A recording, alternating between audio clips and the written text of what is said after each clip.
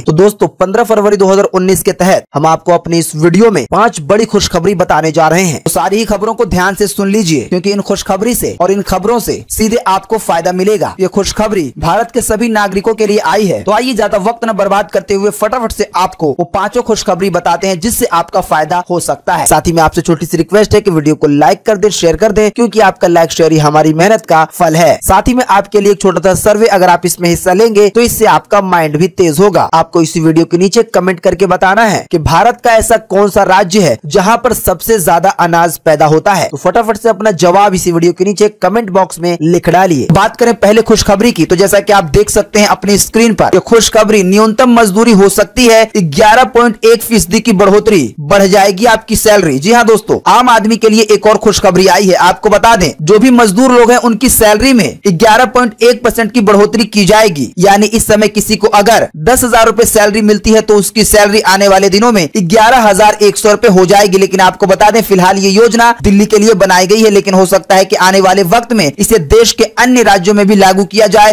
दोस्तों, बात करें दूसरी खुशखबरी की तो जैसा कि आप देख सकते हैं अपनी स्क्रीन पर कि आ गए अच्छे दिन। बिजली कटौती हुई तो कंपनियों पर लगेगा जुर्माना। बताना होगा कटौती का कारण। जी हाँ दोस्तों, अगर आपके इलाके में बिजली कटती है और आप इससे परेशान रहते हैं तो घबराइए नहीं। आने वाले दिनों में आपको इस परेशानी से छुट्टी मिल सकती है, क्योंकि सरकार की तरफ़ से जो नया नियम लागू किया गया है, उसके मुताबिक अब बिजली कंपनी बिना यूज़र को बताए बिजली नहीं काट सकती। साथ ही में अगर बिजली काटेगी तो उसे पूरा पर्पज बताना पड़ेगा कि हम बिजली क्यों काट रहे हैं। साथ ही में अगर आपदा आती है, यानी कि बारिश, बिजली, तूफ़ान वगैरह तो इसके बारे में भी कंपनियों को पूरी अपनी रणनीति बतानी होगी कि हम किस तरीके से बिजली काटेंगे। दोस्तों, अगली खुशखबरी बताने से पहले आपसे एक छोटी सी रिक्वेस्ट है कि वीडियो को लाइक कर दें, शेयर कर दें, क्योंकि आपका लाइक, शेयर करना ही हमारी मेहनत का फल होता है। दोस्तों, बात करें तीसरे खुशखबरी की तो जैसा कि आप देख सकते हैं अपनी स्क्रीन पर पेटीएम ग्राहकों के लिए खुशखबरी। शुरू हुई एफडी से दो गुना मुनाफा देने वाली स्कीम पेटीएम यूज़र के लिए बड़ी खुशखबरी आई है। आपको बता दें जिस तरीके से बैंक में एफडी होती है, अब आप उसी तरीके से पेटीएम में भी म्यूचुअल फंड के ज़रिए एफडी करवा सकते हैं। साथ ही आपको इस एफडी पर बहुत ज़्यादा लाभ मिलेगा, यानी आपको दो गुना फ़ायदा होगा। पेटीएम ने हाल ही में ये सर्विस शुरू की है, जिसका नाम पेटीएम मनी रखा गया है। इसकी अधिक जानकारी के लिए आप पेटीएम के ऐप में जाकर इस स्कीम को देख सकते हैं और इसका फ़ायदा भी उठा सकते हैं। दोस्तों, बात करें चौथे खुशखबरी की तो जैसा कि आप देख सकते हैं अपनी स्क्रीन पर। गरीब आरक्षण के बाद विश्वविद्यालयों में बढ़ेगी तीन लाख सीटें। दिल्ली विश्वविद्यालय में लगभग सोलह हज़ार की होगी बढ़ोतरी। जी हाँ मोदी सरकार शिक्षण संस्थानों में गरीबों को दस प्रतिशत आरक्षण देने के बाद एक और कदम बड़ा उठाया है, जिसके तहत अब विश्वविद्यालयों की जो सीट की संख्या है, उसे बढ़ाई जाएगी। सीट कम होने की वजह से बहुत सारे लोगों को एडमिशन नहीं मिल पाता, लेकिन आपको बता दें, अब सीटों को बढ़ा दिया जाएगा। इनकी कुल तादाद तीन लाख के करीब हो सकती है। दोस्तों, बात करें पाँचवें खुशखबरी की तो जैसा की आप देख सकते हैं अपनी स्क्रीन पर, बैंक ऑफ़ बड़ौदा ने दो नए तरह के बैंक अकाउंट पेश किए हैं। इन पर मिलेगा आकर्षक डिस्काउंट जी हाँ दोस्तों बैंक ऑफ़ बड़ौदा ने दो तरह के नए अकाउंट पेश किए हैं। पहला अकाउंट खास महिलाओं के लिए है, जिसमें महिलाओं को बहुत अच्छे अच्छे ऑफ़र दिए जाएँगे और उन्हें बहुत सारे डिस्काउंट भी दिए जाएँगे। साथ ही में जो दूसरा अकाउंट पेश किया गया है, वो खास बुज़ुर्गों के लिए है। आपको बता दें, इन अकाउंट में मिनिमम बैलेंस तीन हज़ार रूपए होना चाहिए, लेकिन ये शहर के लिए है, लेकिन जो गाँव के लोग होंगे, वो लोग सिर्फ़ हज़ार रूपए ही मिनिमम बैलेंस रखेंगे। वीडियो को लाइक करें शेयर करें और रोज़ाना की ताज़ा खबरों से अपडेट रहने के लिए चैनल को सब्सक्राइब करें तो बेल का आइकन भी ज़रूर दबाएँ। Thanks for watching